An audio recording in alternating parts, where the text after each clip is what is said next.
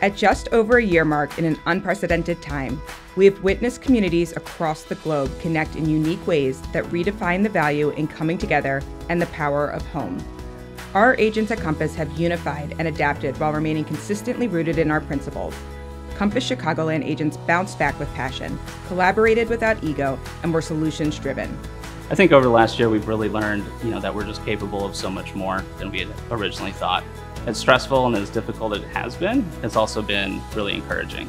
And you know, I think when we think about you know how our priorities may have shifted, I think that's just it. You know that that we are in this together, and it's something that together we can get to the other side. It's really nice to kind of pop into the office, check in with people, get a little more color or temperature to what's happening in the market. So, not having those little touch points throughout the week were a challenge. I think that being in the office is just something you can't replace. And I'm excited to have all the agents back in there that I'm used to seeing on a daily basis collaborating face to face versus over the computer definitely brings a different level of energy. You get multiple different opinions and ideas from them on how to solve problems that you face. And so I love that part about the office. Plus, an extra bonus that you get is all the great snacks that you've got.